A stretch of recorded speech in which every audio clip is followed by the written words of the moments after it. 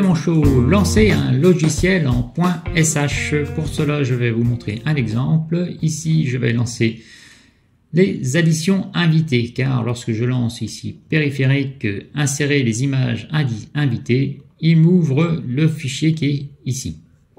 Ensuite, si je double-clique, il va falloir que je lance l'autorun.sh qui se trouve ici. Et pour cela, je fais un clic droit et je fais ouvrir un terminal ici, Open Terminal Here. Hop là, c'est parti.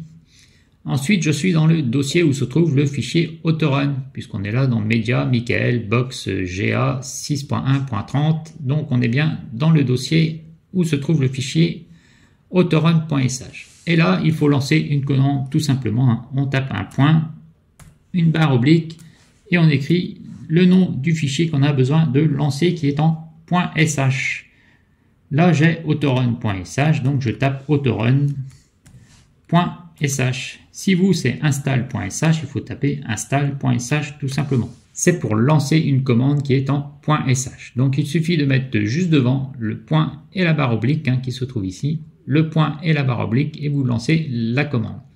Là, je valide Enter, j'ai lancé la commande, hein, mais je vais la relancer pour vous montrer hein, que ça fonctionne. Et voilà, j'ai lancé la commande autorun.sh ou install.sh ou la commande qui vous intéresse qui est en .sh. Voilà, là il me dit de faire Enter et voilà, la commande a été lancée et validée. Je vous dis canavo et à bientôt